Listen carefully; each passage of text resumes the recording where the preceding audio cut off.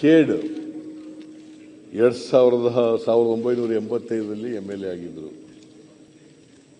ಇವರು ನೀರಾವರಿ ನಮ್ಮನ್ನು ಎಚ್ ಡಿ ದೇವೇಗೌಡರನ್ನ ಗುರುಪಾಸ್ವಾಮಿ ಅವ್ರನ್ನ ಒಂದು ಸಾರಿ ಕರ್ಕೊಂಡೋಗಿ ಬಿಜಾಪುರ ಜಿಲ್ಲೆಯಲ್ಲಿ ಒಂದು ದೊಡ್ಡ ನೀರಾವರಿ ಕೃಷ್ಣ ಯೋಜನೆಗೆ ಹೋರಾಟವನ್ನು ಮಾಡಿ, ಮಾಡಿದ್ದರು. ನನ್ನೆಲ್ಲ, ನನ್ನನ್ನು ಕರ್ಕೊಂಡು ಹೋಗಿದ್ದರು ದೇವೇಗೌಡರನ್ನ ಕರ್ಕೊಂಡು ಹೋಗಿದ್ದರು ಮತ್ತು ಗುರುಪಾಸ್ವಾಮಿ ಅವರು ಕರ್ಕೊಂಡು ಹೋಗಿದ್ದರು ಹೋರಾಟದ ಮನೋಭಾವ ಇತ್ತು. ಪಾಪ ಒಮ್ಮೆಲೆ ಎಂ ಎಲ್ ಎ ಆದದ್ದು ಅಷ್ಟೇ ಆಮೇಲೆ ಬಿ ಎಲ್ ಡಿ ವಿದ್ಯಾಸಂಸ್ಥೆಯಲ್ಲಿ ಸೆಕ್ರೆಟರಿ ಆಗೋ ಕೂಡ ಕೆಲಸ ಮಾಡಿದರು. ಇತ್ತೀಚೆಗೆಲ್ಲ ಓಡಾಡ್ಕೊಂಡೇ ಇದ್ರಪ್ಪ, ಆರೋಗ್ಯವಾಗಿ ಇಲ್ಲೇ ಬರ್ತಾ ಇದ್ರು ಯಾವಾಗಲೂ. ಮೊಗ್ಸಾಲೆಯಲ್ಲಿ ವಿರೋಧ ಪಕ್ಷದ ಮೊಗ್ಸಾಲೆ ಇಲ್ಲೆಲ್ಲ ಬರೋರು, ಅವರು ಈಗ ನಮ್ಮನ್ನು ಆಗ್ತಿದ್ದಾರೆ ಸತ್ತೋದ್ರು ಅನ್ನೋದಕ್ಕೆ ನಾನು ನೋಡಕ್ಕೆ ಅವರಿಗೆ ನಂಬಕ್ಕಾಗೋದಿಲ್ಲ. ಅವರು ಚೆನ್ನಾಗಿ ಆರೋಗ್ಯವಾಗಿ ಇದ್ದರು ಇವರು ಮತ್ತು ಏಕಾಂತಯ್ಯ. ಇವರಿಬ್ಬರು ಯಾವಾಗಲೂ ಜೊತೆಲಿರೋರು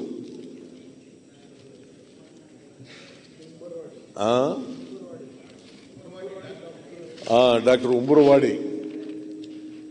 ಇನ್ನೊಬ್ರು ಉನಗುಂದವ್ರು ಇದ್ರಲ್ಲ ಅವ್ರ ಹೆಸರೇನು? ಕಡಪಟ್ಟಿ. ಕಡಪಟ್ಟಿ, ಏಕಾಂತಯ್ಯ, ಉಂಬರವಾಡಿ ಮತ್ತೆ ಖೇಡ್ ಈ ನಾಲ್ಕು ಜನ ಯಾವಾಗಲೂ ಜೊತೆಲೇ ಇರೋರು. ಆಮೇಲೆ ಒಮ್ಮೆ ರಾಮಕೃಷ್ಣ ಹೆಗಡೆ ಮುಖ್ಯಮಂತ್ರಿ ಆಗಿರುವಾಗ ಕೆಲವು ಮಂತ್ರಿಗಳನ್ನೆಲ್ಲ ಬಿಡಬೇಕು ಅಂತೇಳಿ ದೊಡ್ಡ ಹೋರಾಟ ಮಾಡಬಹುದು ಇವರು ಹೋರಾಟ ಮಾಡಿದ್ರೆ ಯಾರನ್ನ ಬಿಡಬೇಕು ಅಂತ ರಾಮಕೃಷ್ಣ ಹೆಗ್ಡೆ ಅವ್ರು ನಮ್ಮನ್ನೆಲ್ಲ ಬಿಟ್ಬಿಟ್ರು ಅತ್ತಿಗೆ.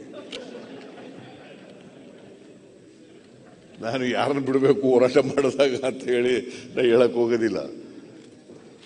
ಯಾರನ್ನ ಹೋರಾಟ ಮಾಡಿದ್ರು ಬಿಡಬೇಕು ಅಂತ. ಅವ್ರ ಜೊತೆ ಸೇರಿ ನಮ್ಮನ್ನು ಬಿಡಿಸ್ಬಿಟ್ಟು ಬಿಟ್ಬಿಟ್ರು ಅಂತ ರಾಮಕೃಷ್ಣ ಹೆಗ್ಡೆಯವರು ಹದಿಮೂರು ಜನ ಒಟ್ಟಿಗೆ ಬಿಟ್ಬಿಟ್ಟು ರಾಮಕೃಷ್ಣ ಹೆಗ್ಡೆಯವರು ಓರಿ ಜಿಲ್ಲಾ ಪಂಚಾಯತ್ ಮಂಡಲ ಪಂಚಾಯತಿ ಎಲೆಕ್ಷನ್ ಮಾಡ್ಕೊಬರೋಗಿ ಆಮೇಲೆ ನೋಡೋಣ ನಿಮಗೆ, ಮಂತ್ರಿ ಮಾಡೋಣ ಅಂತ ಹೇಳ್ಬಿಟ್ಟು ಇವ್ರ ಜೊತೆ ಬಿಟ್ಬಿಟ್ರು ಅತ್ತಿಗೆ. ಸೊ ಹಂಗಾಗಿ ಆ ಥರ ಇವರು ಇವರು ಹೋರಾಟದಿಂದ ನಾವು ಮಂತ್ರಿ ಕೆಲಸ ಕಳ್ಕೋಬೇಕಾಗಿ ಬಂತು ಆ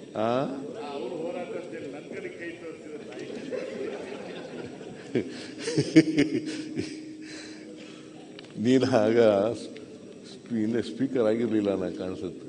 ಈ ತೊಂಬತ್ನಾಲ್ಕರಲ್ಲ ಸ್ಪೀಕರ್ ಆದ್ದು ನೈಂಟಿ ಫೋರ್ನಲ್ಲಿ ಸೊ ಇವರು ಎಂಬತ್ತೈದರಲ್ಲಿ ಇದ್ದದ್ದು ಎಂ ಎಲ್ ಎ ಆಗಿದ್ದದ್ದು. ಸೊ ಹೋರಾಟ ಮಾಡಿ ನಮ್ಮನ್ನೆಲ್ಲ ಮಂತ್ರಿ ಕೆಲಸ ಕಳೆದರು. ಆಮೇಲೆ ಜಿಲ್ಲಾ ಪಂಚಾಯತಿ, ತಾಲೂಕು ಪಂಚಾಯತಿ ಎಲೆಕ್ಷನ್ ಆದಮೇಲೆ ಗೆದ್ದ ಮೇಲೆ ಮತ್ತೆ ಬಂದು ಮಂತ್ರಿ ಆದವು ಅಂತ ಇಟ್ಕೊಳ್ಳೋಣ.